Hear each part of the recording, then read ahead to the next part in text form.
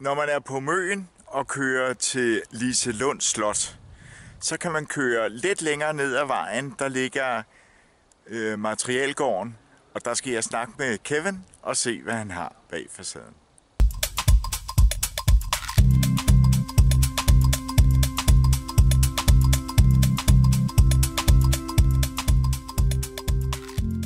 Kevin, Materialgården, hvad er det for et sted?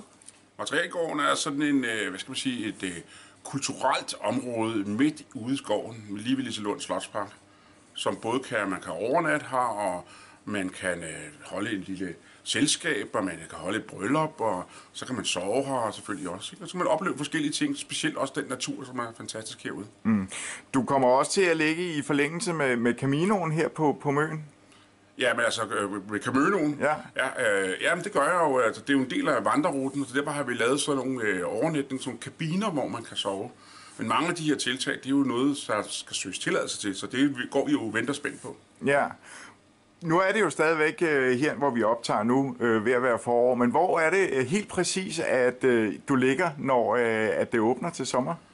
Jamen, jeg vil sige på den måde, at øh, der er stor sandsynlighed for, at der er frisk øl i hanerne lige her bag ved mig. Og så vil der nok også være nogle mennesker, der sidder og hygger sig herude i solen. Øh, og så vil de jo, tror jeg også, altså lidt afhængig af, hvordan det falder på plads, så vil der også være overnattende gæster, gæster. Ikke? Ja. Hvad, hvad vil det koste at have sådan en overnat? Jamen, det er jo, jeg har jo faktisk øh, doseret det sådan, at øh, der er forskellige grupperinger herude, som vil komme her. Der er Cabønovandrene, de, de koster sådan 200-250 kroner, inklusiv noget mad for en overnatning. Så er der sådan et, en lækker dag øh, vintage værelse, som man kan få. Det koster omkring en 500-600 kroner. Øh, og så er der sådan nogle, øh, om vinteren, så har jeg sådan noget øh, kunstnerfugium, hvor kunstnere kan sove. Og de betaler sig for en uge gang. Eller sådan noget. Eksempelvis har der jo været noget i Liselund Slotspark, hvor der var nogle kunstnere, de kunne så bo her, imens de lavede kunsten i parken. Ikke? Hvorfor er det, at man skal, man skal komme og, og, og nyde naturen her? Det er fordi, at Østmølen er det bedste sted i hele verden. Tak fordi jeg måtte komme forbi.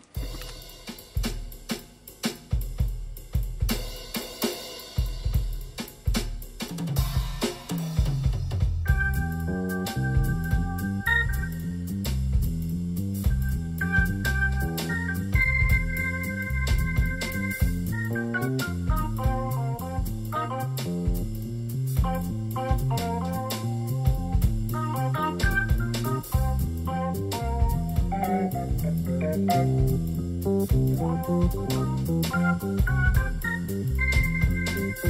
you.